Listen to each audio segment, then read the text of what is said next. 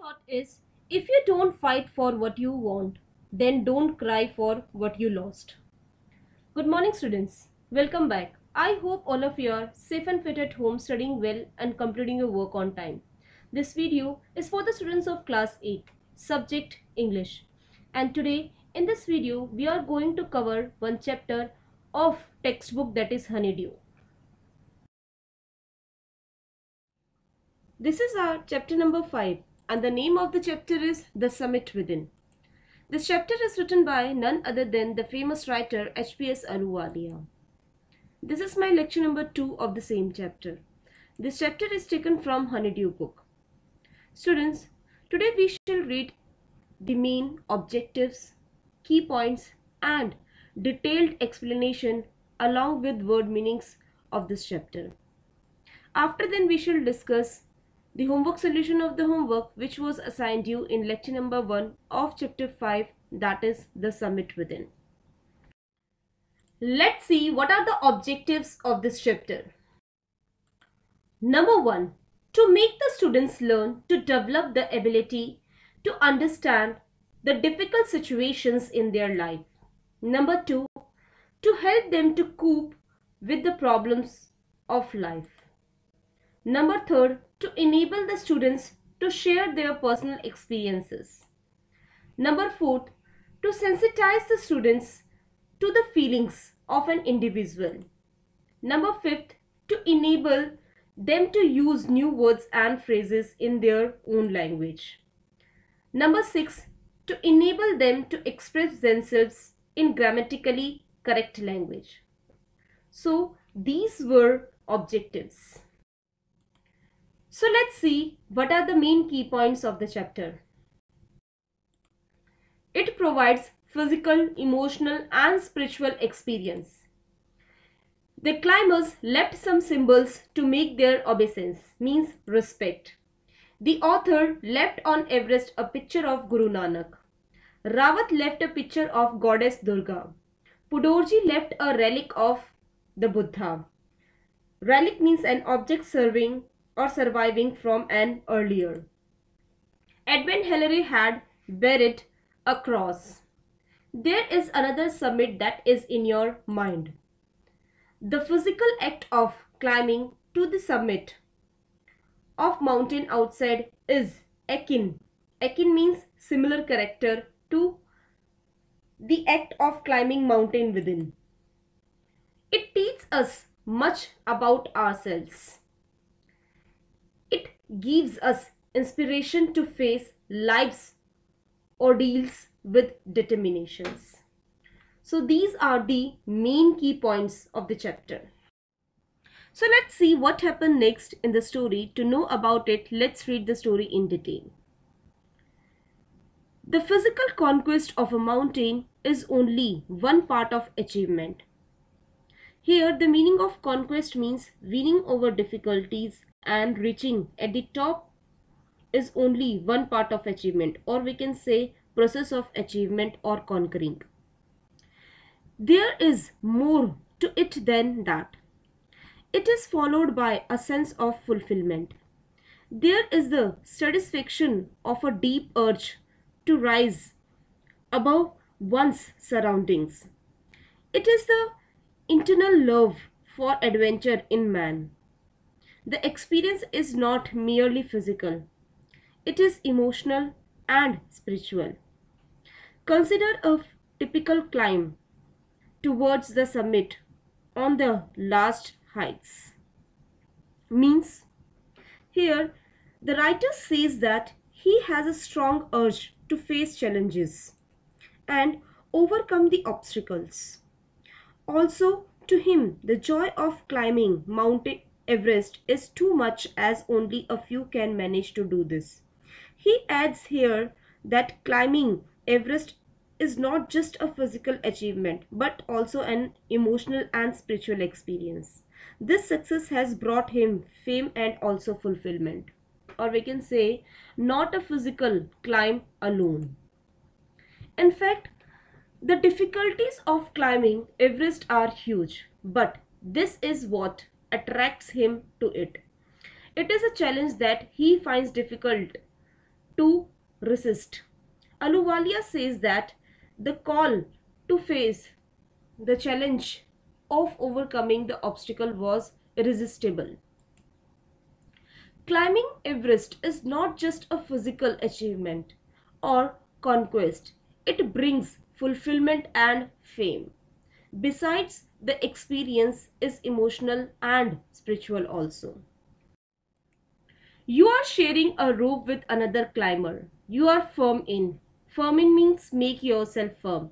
You are companion. Companion means a person who spends lot of time with his friends while traveling. Keeps up with you. You ask yourself, is there no end? He cuts the steps in the hard ice. Then he belays. Belays means fixes a rope. And you inch your way up. The climb is grim. Grim means very serious or unpleasant. Means he further says that this summit also is a lesson of championship. Two persons share the same rope while climbing the mountain. One climber needs to hold the rope firmly, while the another one cuts the steps in the hard ice. The second one then, belay means fixes a rope and then the first one inches his way up, means step up. It is very difficult for a single man to think of climbing a mountain. They need physical as well as the emotional support of their partners. Means we can say that comradeship Climbing mountains also gives us lessons in comradeship, means friendship. He gives an example while climbing two persons have to share a rope. One climber holds the rope firmly while the other climber cuts the steps in the hard ice. Then he belay means fixes the rope and the another climber inches his way up Famous climbers have left records of the help given by others. Your strain ever nerve as you take every step. Here the meaning of strain is to put force with great effort. Famous climbers have left records of the help given by others. They have also recorded how they needed just that help, else they might have given up means here it is very difficult for a single man to think of climbing a mountain. They need physical as well as the emotional support of their partners. Breathing is difficult. You curse yourself for having let yourself in for this. You wonder why you ever undertook the ascent. Here ascent means climb. There are moments when you feel like going back but something in you doesn't let you give up the struggle and you go on. Means a single man cannot simply think of being a climber. It is not only the physical difficulties which will deter him means discourage him. The difficulties are emotional too. In all those moments the comrades means fellow members draw inspiration from each other and there is something inside you which is encouraging you to not stop. And you are going on and you are going on. Means you are putting your step another or keeping your step forward. Your companion keeps up with you just another 50 feet or a hundred maybe. You ask yourself is there no end you look at your companion and he looks at you. You draw inspiration from each other. And then, without first being aware of it, you are at the summit. Means, your companion is always there with you.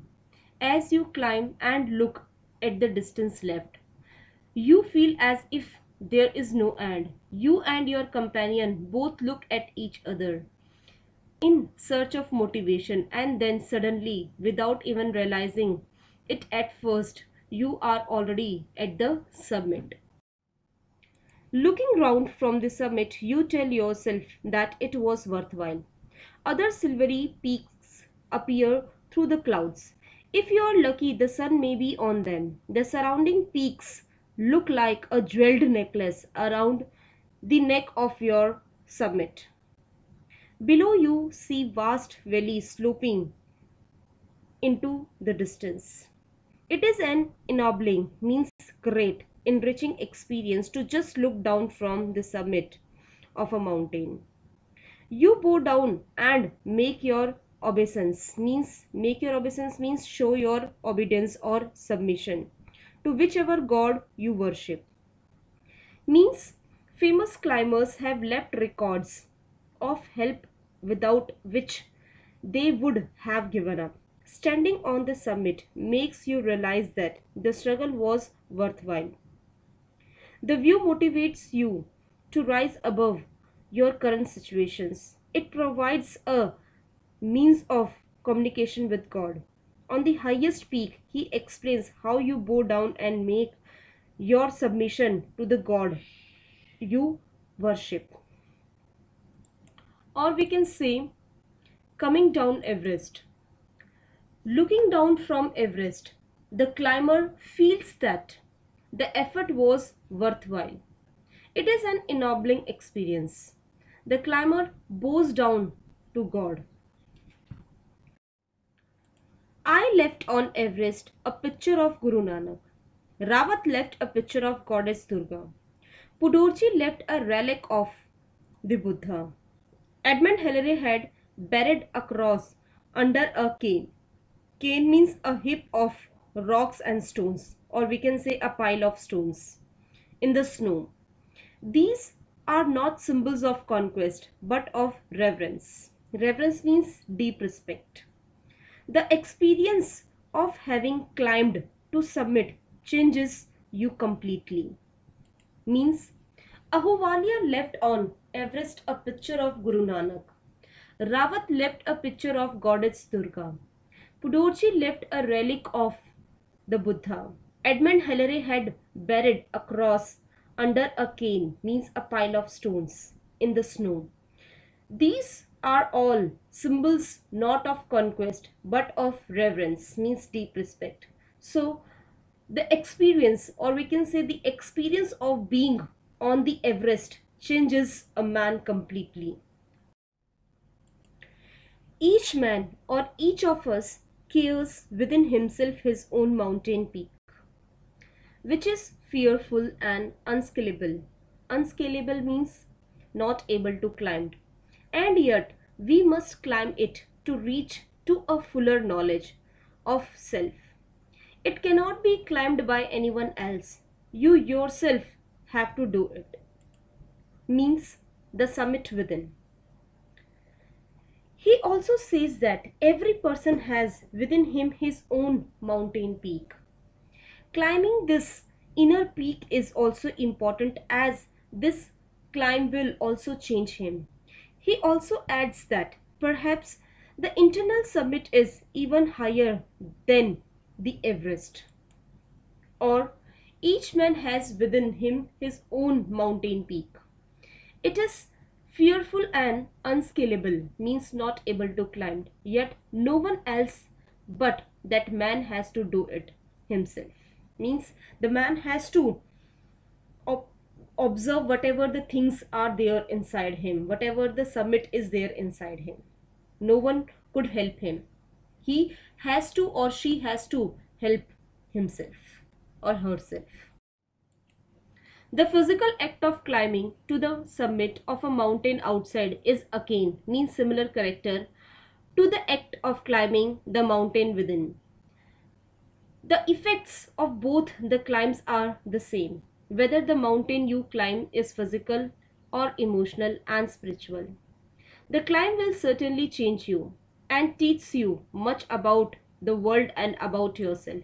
Means, he further explains how physically climbing a mountain is similar to climbing the one within. The effects of both climbs are also the same. It changes you completely or it changes you completely irrespective of the nature of climb being physical, emotional or spiritual. It teaches you a lot about the world around you and the one inside you. I venture to think that my experience as an Everester has provided me with the inspiration to face life's ordeals resolutely. Here the meaning of venture means risky. Ordeals means painful experiences. Resolutely means with determination and firmness. Climbing the mountain was a worthwhile experience. The conquest of the internal summit is equally worthwhile. The internal summits are perhaps higher than Everest. Means the author goes about thinking that his experience as an Everester has given him both the strength and inspiration to deal with life's painful experiences with determination and firmness, just like climbing Everest was a worthwhile experience. Conquering the summit within is equally worthwhile. Moreover, internal summits are higher than the physical summit of Everest. So at last, the lesson of this story is we can overcome any obstacles or situation in life if we have endurance, persistence and willpower. So this was a story shared by Ahluwalia in his own words. Students, you have to complete your homework on the basis of the chapter explained by me. And your homework is read chapter 5 that is the summit within and write word meanings highlighted in the video. Based on the understanding of the chapter, write the answers of the questions mentioned in the book Honeydew as Page number 80 working with the text question number 1 and 2. Page number 81 and 82 working with the language question number 1 to 3. Students, you have to do working with the language in your book only. Still many students are not having their books with them. So here in this video, I have mentioned your homework in detail. So let's see working with the text which is on page number 18. Question number 6 is, what were the symbols of reverence left by members of the team on Everest? Question number 7 is, what according to the writer did his experience as an Everester teach him? Question number two is write a sentence against each of the following statements. Your sentence should explain the statement. You can pick out sentences from the text and rewrite them. The first one has been done for you. Number one is the experience changes you completely. Answer is one who has been to the mountains is never the same again. Number two is man takes delight in overcoming obstacles. Number third is mountains are nature at its best. Number fourth is the going was difficult but the after effects were satisfying. Number fifth is the physical conquest of a mountain is really a spiritual experience. Working with the language, which is on page number 81 and 82. You have to do these two pages in your book only.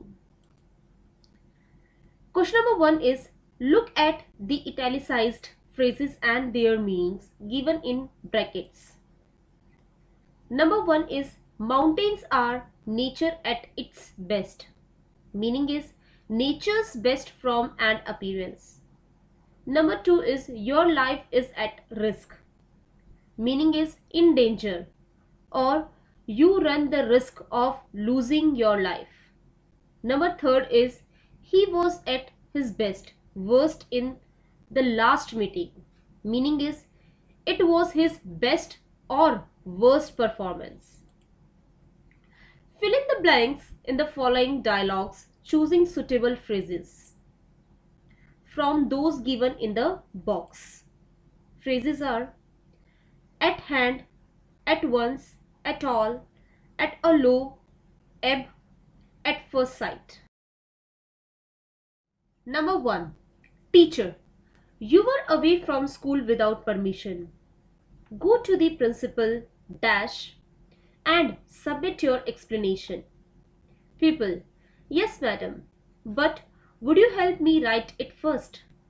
Number 2. Arun. Are you unwell? Ela. No, not. Dash. Why do you ask? Arun. If you were unwell, I would send you to my uncle. He is a doctor. Number third, Mary. Almost every Indian film has an episode of love. Dash. Dravid. Is that what makes them so popular in foreign countries? Number fourth is Asif. You look depressed. Why are you spritz dash today? Use such in the phrase. Ashok. I have to write 10 sentences using words that I never heard before. Number 5th, Sahiba, your big moment is close. Dash. Jyoti, how should I welcome it? Sahiba, get up and receive the trophy. Number 2 question is, write the noun forms of the following words adding ANCENs or ENCE ends to each. Words are number one, endure means suffer patiently. Number two is persist. Number third is signify. Number fourth is confide. Confide means tell someone about a secret. Number fifth is maintain. Number six is abhor. Abhor means regards with disgust. Question number 3 part 1 is match words under A with their meanings under B. A. Remote means dominant, formidable, overwhelmed. B. Difficult to overcome, most prominent. Be overcome, overpowered. Methods or method, far away from. Question number 3 part 2 is Fill in the blanks in the sentences below with appropriate words from under A. A part. There were dash obstacles on the way, but we reached our destination safely. B. We have no dash of finding out what happened there. C. Why he lives in a house dash from any town or village is more than I can tell. D Dash by gratitude, we bowed to the speaker for his valuable advice. E. The old castle stands in a dash position above the sleepy town.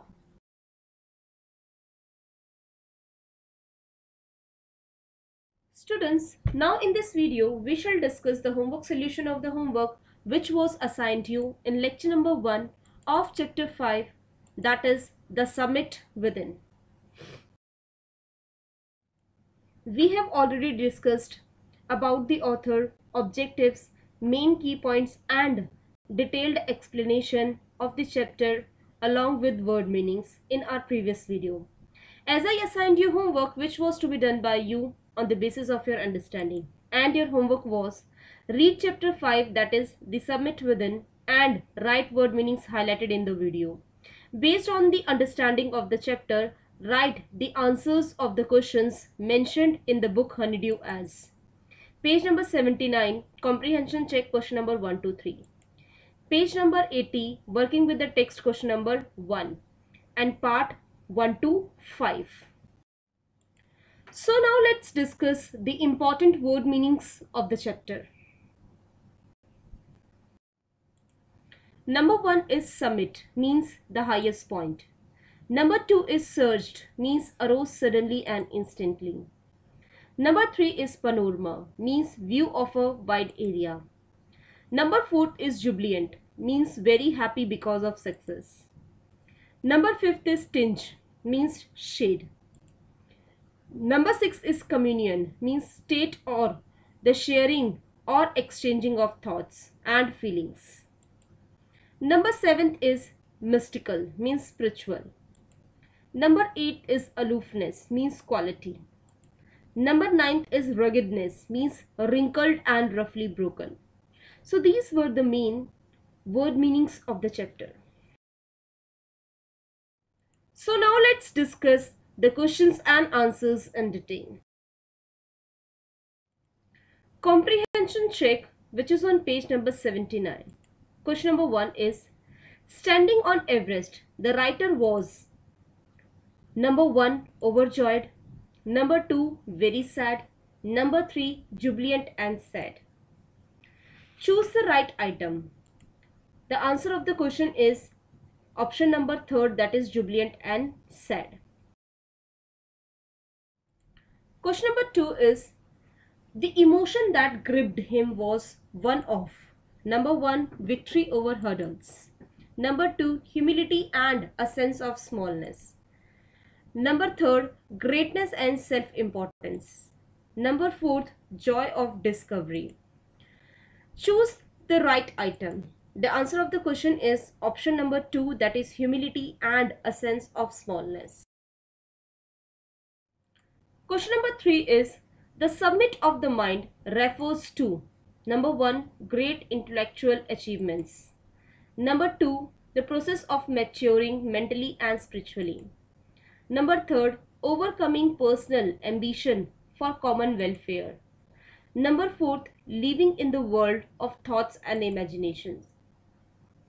Number fifth, the trump of mind over worldly pleasures for a noble cause. Number 6. A fuller knowledge of oneself. Mark the item not relevant. Answer is number 4. A fuller knowledge of oneself. So now let's discuss the question answers of working with the text which is on page number 18. Question number 1 is answer the following questions. Part 1. What are the three qualities that played a major role in the author's climb? The answer of the question is the three qualities that ensured the success of the author were endurance, persistence and willpower. Number two, why is adventure which is risky also pleasurable? The answer of the question is mountain climbing is a great adventure but is also risky. It is a great challenge and a doing challenging job is in itself pleasurable. It gives immense means great joy to the doers. Doers means person who is doing some action or something. Question number fourth is what does it about Mount Everest that the author found irresistible? The answer of the question is Mount Everest attracted the author because it is the highest, the mightiest, and has defied many previous attempts. It takes the last ounce of one's energy. Question number four is one does not do it means climb a high peak for fame alone. What does one do it for really? The answer of the question is conquering means overcome Summit is a great physical achievement, but more than that, it gives the climber the emotional and spiritual satisfaction. It satisfies man's eternal love for adventure. Number fifth is he becomes conscious in a special manner of his own smallness in this large universe. This awareness defines an emotion mentioned in the first paragraph. Which is the emotion? The answer of the question is that emotion is humility. Humility means the quality of having a modest. So this is the end of the lecture. Students, if you like our videos, please hit on the like button and don't forget to subscribe our channel. Thank you and have a nice day.